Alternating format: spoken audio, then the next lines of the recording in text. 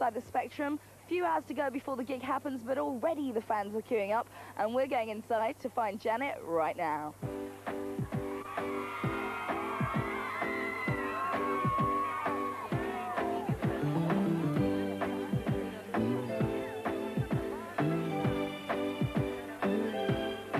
A moment of history is about to happen.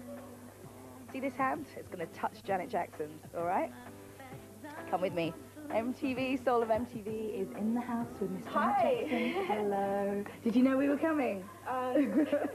Surprise. I knew you were coming on a the cake.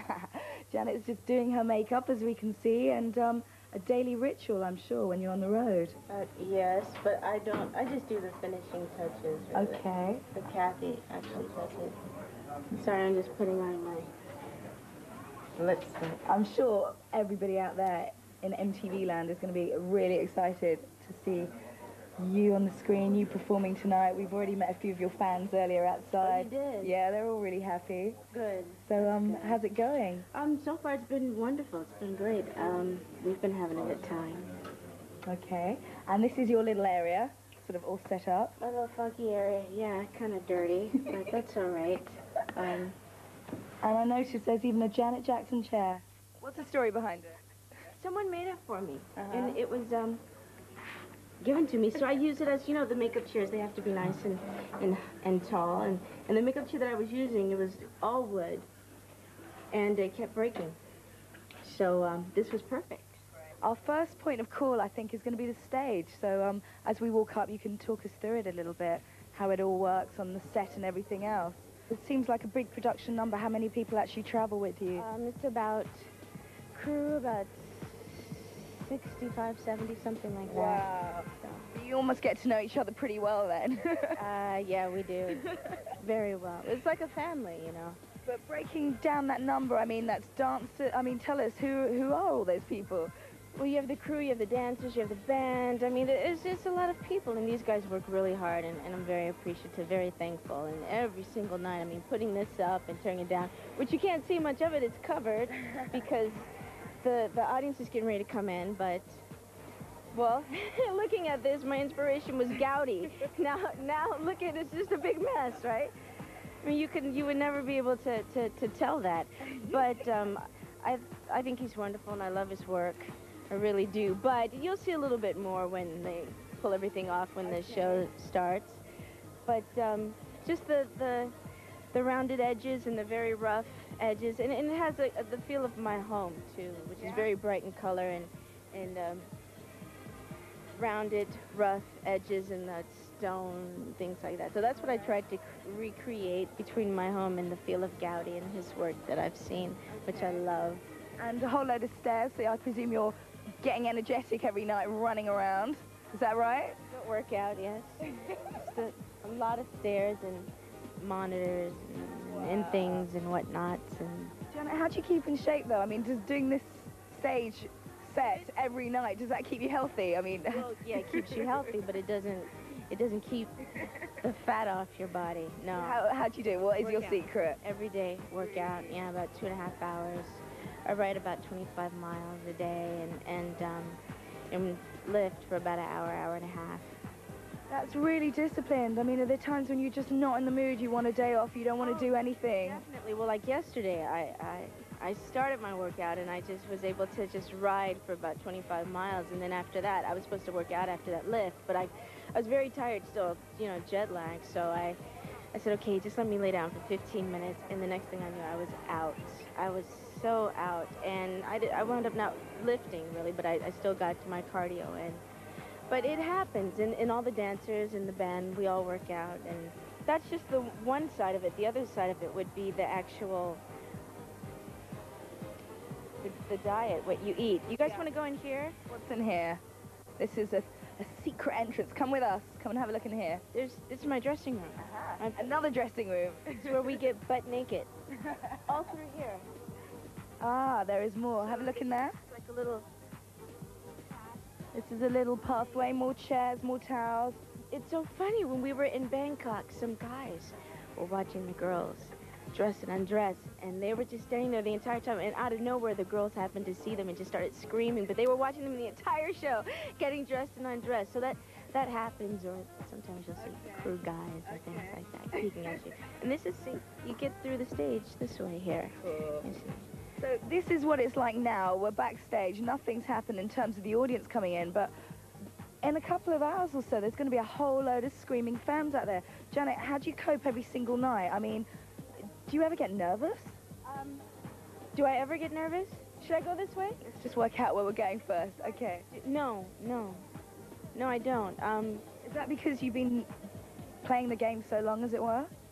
um, I think so. Well, the very first time I, I actually uh, toured, I, I did, but the, the very first night, but that was it.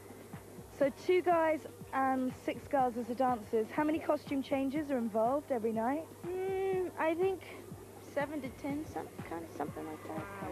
Sort of. And I mean, obviously, sort of through since touring in Australia, you're now in Europe. It, it kind of, I'm sure, gets easier every night, doesn't it? Yeah, it does, but there are times when it gets very difficult. Like, um, we were in, um, where were we? In Manila, and there was, oh no, Bang, no, it was Perth in, in Australia, and there was no air conditioning. It, it, the system, it, it was broken the day that we got there, so it was very hot, for one, outside, and inside it was burning up. And that's when it becomes really, really difficult. I mean, you get a lot of feedback from the kids, which gives you that extra energy. But when it's really hot in the venue, and it makes it difficult to breathe, and your legs feel like lead, and you can't kick, you can't do anything, so it becomes very tiring. And backstage, doing the quick changes, which is more of a show to me than even out here, because you're just rushing, trying to make the, the, the next cue and trying to be on time. That that you're huffing and puffing backstage, it, it becomes very difficult, very tiring. But it, it's grueling. But that, that's all a part of touring, and, and I love it very much.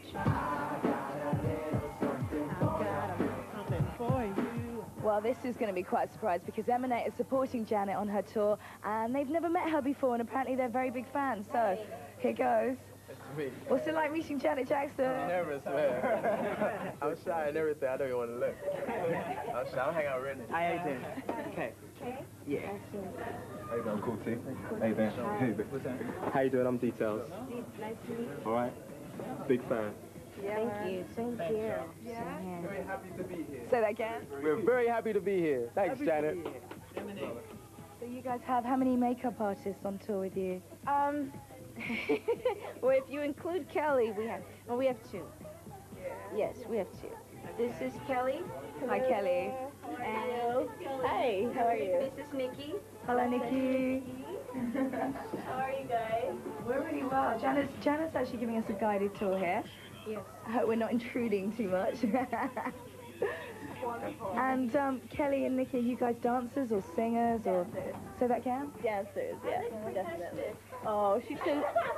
She's not a percussionist. Rehearsal and Nikki plays again while I, I uh, sing it. Some, yes, right? Yeah, on the piano. She's played again. Well, Janet, how did you find how did you find all your dancers and singers? Um, audition. Everyone auditioned really, and just picking the best, not just dance-wise, but for me, it has to has to be something there in the heart, good-hearted people, and that's very important because you become you become a family, and there's no room for attitudes or moodiness, even though some of us still tend to get moody. But no, I mean, you're together. We all get along very well, and it's it's like a family. This is a wardrobe as we're busting in here. So what happens in here? I mean, obviously all the clothes are kept here. They're ironed and numbered and Yes, this is Bonnie over here. This is Tina's outfit for um, a medley that we do. That's Tina's. out- Here are my boots. Okay. Um, I'm gonna go and touch Janet's boots. I think men up and down the country in Europe are gonna be really jealous about this. Say that again. The, the, the Indian feel to it here. Hi guys. Who are these guys? This is Omar. It's one of the dancers. Where's Sean? Um, I think you're stretching. Getting ready. So do you guys do a little practice every night? You know, sort of get yourself limbered up and all the rest of it. Well, yeah, you know, um. Yeah, sure, yeah. We, we just get ourselves mentally ready at this point, you know what I mean? Just as much as physically. We've done it a lot, so we want to prepare. So. Yeah, liar. Liar. what do you do before you start a show? Sleep. That's about it. Sleep. Janet, do you ever eat? Oh, yeah, definitely. I mean, if so, what kind of food are you into? Um, fish, I eat fish. No chicken or anything else. Just fish and vegetables and fruits and goodies like that. Okay. And this is um, truck drivers and bus drivers and, you know, there's more of The band down there, yeah, this is part of the, the crew guys. do you know any of these guys, the crew? Yes, here's Mike, our lighting guy. Look at Mike, he's... what's going on here? We're going to go meet some of the chefs as well, which um, who actually travel around Europe with the tour. What's that? Mashed potatoes and Moroccan casserole. Sweet corn, broccoli, strawberry cheesecake. I quite like the sound of the strawberry cheesecake. Salad. How you go? Hi! Who are all these guys, Janet? These are all the guys that make everyone happy, I suppose.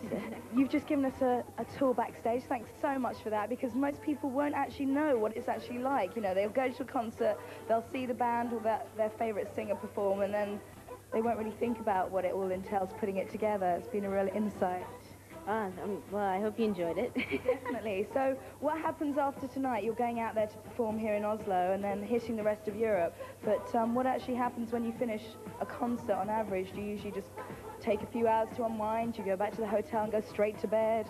well, after the show, I have meet and greet, which is when uh, you meet, uh, whether it's the fans or, or, or the, some of the executives from the record company and, and um, just a, a lot of different people and their friends. And Do you enjoy that?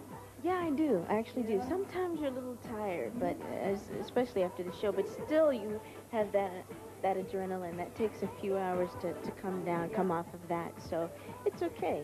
It's it's fine. And then after that, I'll go back to the hotel, and I'm flying tomorrow. Even though I love the bus and I love to ride on the bus, I'm I'm flying tomorrow to Okay. to Sweden.